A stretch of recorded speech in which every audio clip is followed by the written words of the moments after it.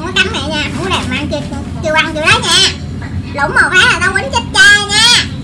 Ủa thèm gì kỳ vậy? Rồi ăn á Đòi ăn mà ôm vậy luôn hả? Các bạn thấy bé Na thế nào? Bé Na đói bụng đòi ăn là ôm chân như vậy đó. Sao rồi ăn ngon đâu? Trời ơi. Bé Na đói bụng mà.